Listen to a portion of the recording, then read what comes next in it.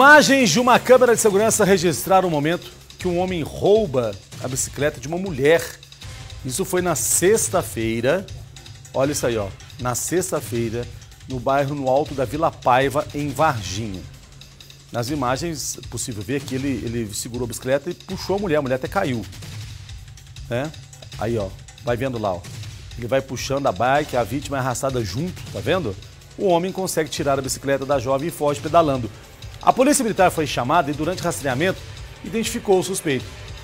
O homem com o apelido de Arminha foi preso na casa da mãe dele, no bairro Jardim Orlândia. Aí, a cara. A bicicleta foi apreendida e entregue para a dona.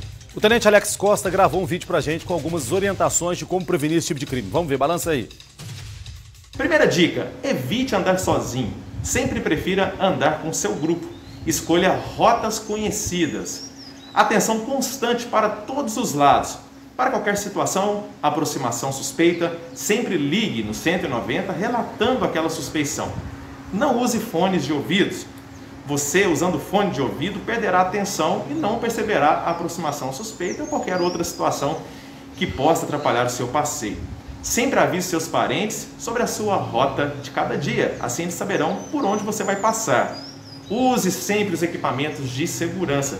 Isso também é primordial e pode amenizar uma possível queda. Revise sempre a sua bike antes de cada passeio, ou seja, verifique se todos os mecanismos de segurança estão regulados. Respeite as leis de trânsito.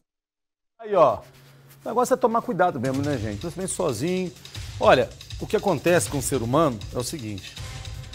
Vamos falar do brasileiro. Vamos falar do mineiro. O que acontece com o mineiro é o seguinte: é acreditar muito nos outros. Saiba que você não deve acreditar nos outros. Se você está andando sozinho de bicicleta, passou uma pessoa ali, a pessoa é suspeita. Não pensa assim, ah, não vai fazer nada comigo, não vai me roubar, não. é nessas bobeiras que as pessoas são roubadas, né?